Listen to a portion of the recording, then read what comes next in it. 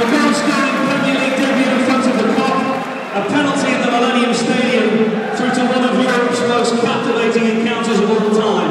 In fact, it's hard to imagine the miracle of Istanbul actually happening without this man.